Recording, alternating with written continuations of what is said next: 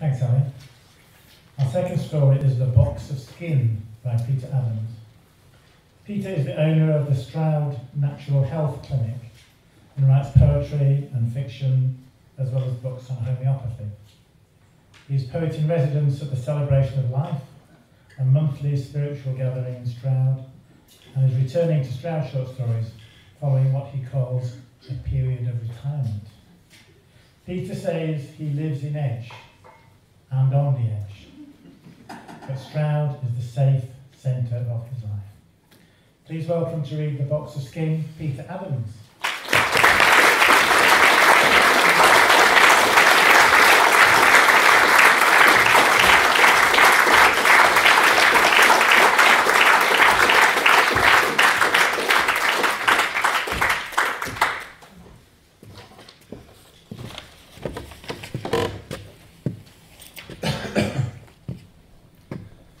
The of skin.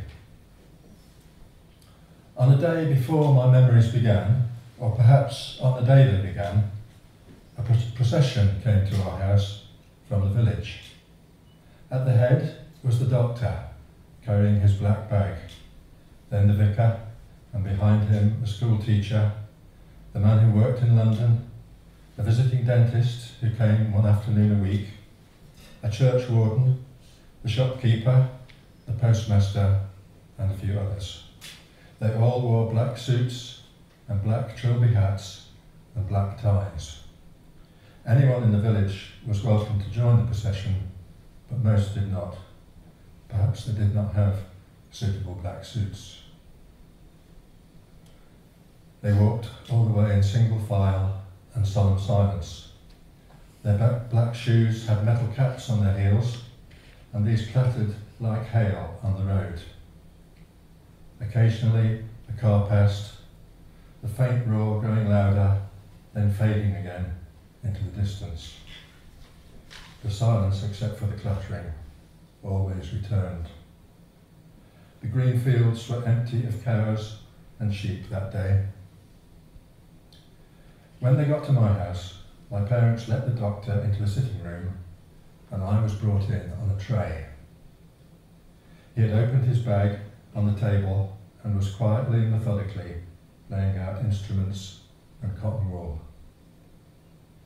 The window was open wide. The procession was arranged outside in rows so that everyone could see in. Suddenly, there was a great pain down in my body. There was a scream. It must have been me. There was a flurry of activity and things were quickly put away. The doctor and the procession were there no longer, but the great big pain took a long time to go.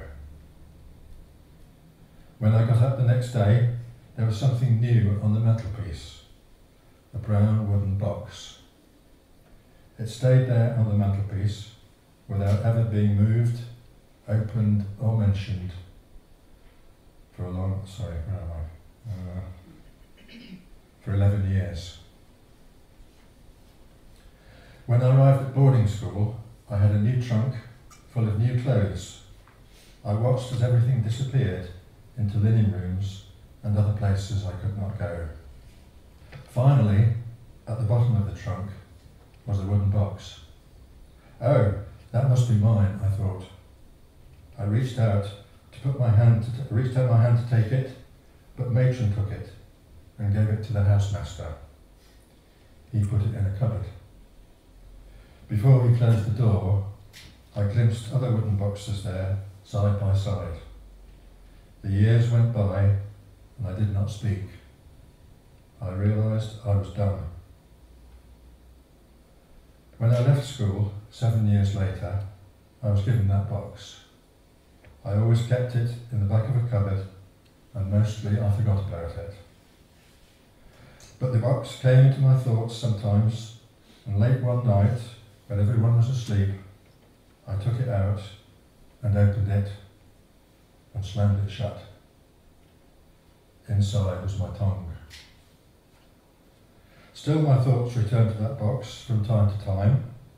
Last week, I took it out again and opened it again, and inside was a pen.